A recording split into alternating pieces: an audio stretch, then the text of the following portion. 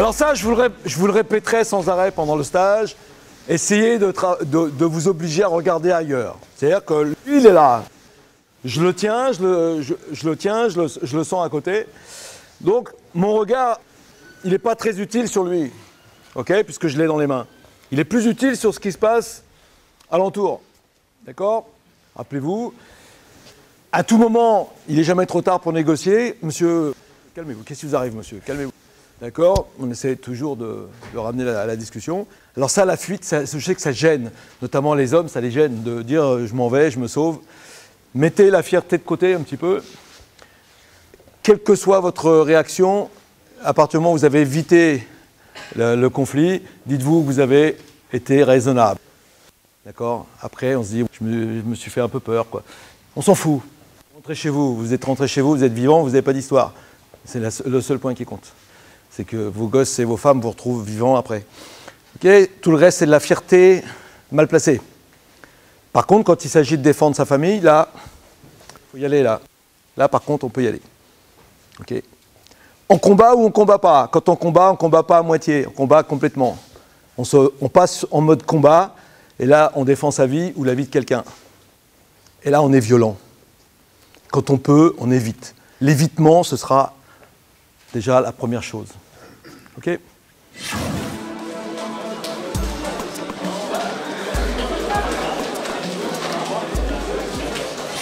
Donc euh, le stage de boxe rue d'aujourd'hui, c'est un, les basiques en fait. Hein. c'est les basiques, c'est-à-dire on parle du comportemental, on parle un petit peu de situations que les gens ont pu vivre euh, un petit peu dans la rue, c'est-à-dire les embêtements, la mendicité euh, un petit peu agressive.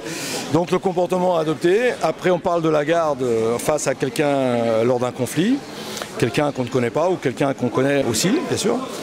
Donc les notions d'attitude au niveau de la tête, au niveau du corps, le placement, les appuis, euh, la position des mains, la position de l'apaisement qui est très importante parce qu'elle envoie un signe à l'autre d'apaisement. La, forme de la tête qui est aussi un signe de détermination, c'est-à-dire la tête légèrement baissée et non pas euh, la soumission comme certains pourraient croire. Et puis après, on parle de, notion d'observation par rapport à l'autre, la position où est-ce qu'il met ses mains, pourquoi est-ce qu'il est s'est retourné, pourquoi est-ce que si, pourquoi est-ce que là. Et puis des frappes qui peuvent être sans information, ce qui, qui peuvent être surprenantes. C'est-à-dire qu'à partir du moment où on est à la distance euh, euh, très courte comme celle-là, un coup ne peut pas être pareil s'il est donné sans information.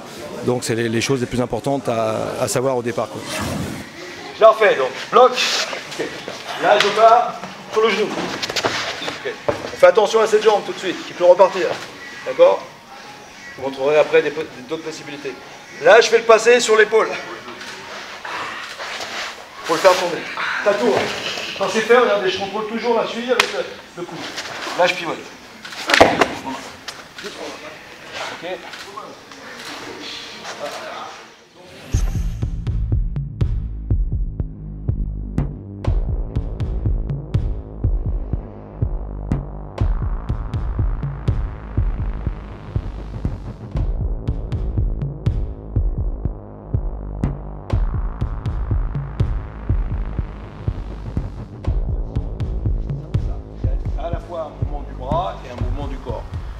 pensez que si on fait que le bras, bien souvent on fait des erreurs, on se découvre. C'est pour ça qu'on fait plutôt participer le corps, pour essayer d'être un maximum en gardant les mains déjà en place.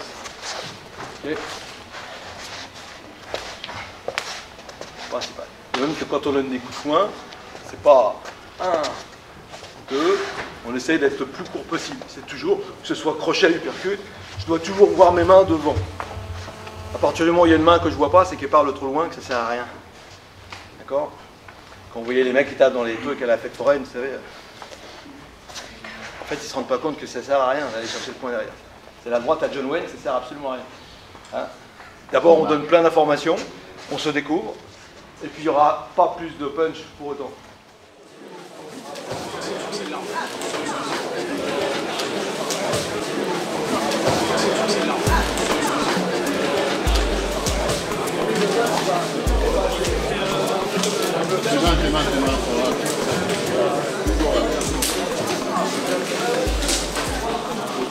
Donc contrairement à certains, moi j'ai rien inventé, surtout pas la poudre.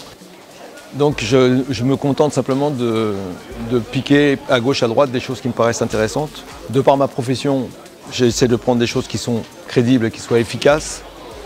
hein, parce que ce que je montrais aux copains sur le tapis, euh, je le faisais après euh, en réel, donc euh, devant eux, donc, et puis eux aussi le faisaient devant moi. Donc ah, ça permet les, re- les retours de- d'expérience et de, pas- de, de changer certaines choses et de garder que les, des choses qui sont faisables.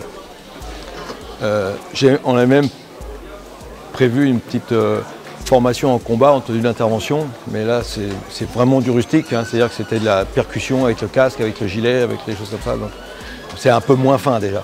hein. Puis on n'a pas tous un gilet et puis un casque. Voilà.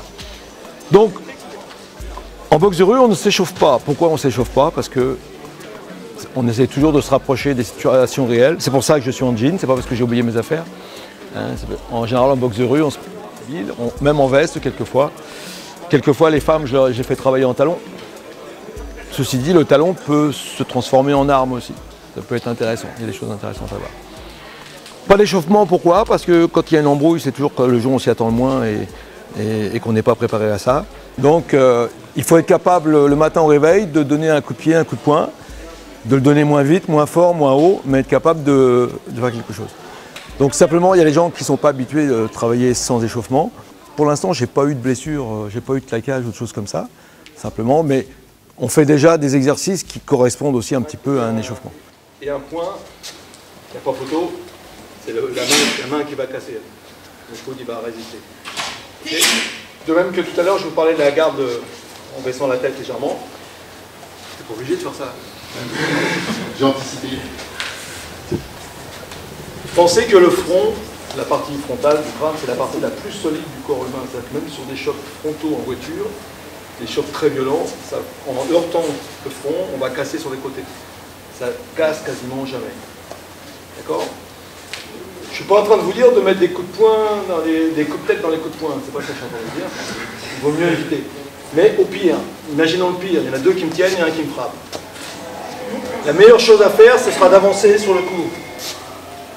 Pourquoi? En boxe, la plupart du temps, quand il y a les fractures de main, quand on analyse la, fracture, on s'aperçoit que le boxeur, il partait en bout de course, ici pour toucher. Au moment où il arrive, lui, il avance et il baisse la tête. Résultat, je ne suis pas arrivé au bout de mon coup, j'ai pas la main fermée, j'ai pas la rotation du poignet et ça casse. D'accord? C'est pour ça qu'il y a des fractures, malgré les bandes dures et les gants. Donc partons de, de ça. Quand vous ne pouvez pas faire autrement que le coup, vous devez le prendre. La meilleure façon, ce sera de rentrer dessus. Parce que lui, vous aurez peut-être le crâne un petit peu ouvert, mais lui, il ne pourra plus boxer. Sa main est cassée. D'accord? Un petit, un petit truc de boxeur sur les directs. Donc le principe, c'est ça. Le, point arrive, j'esquive. J'esquive, en esquivant, je, ferme les mains. Je ferme les mains, je, je l'amène à moi. Alors là, attention, on joue avec le feu. C'est-à-dire que quand je l'amène à moi, il peut aussi déclencher sa droite. Donc il faut, il faut simplement que mes mains soient plus rapides que les siennes et surtout que je reste les mains devant moi. D'accord? Vous allez essayer quand même. Ça va donner ça.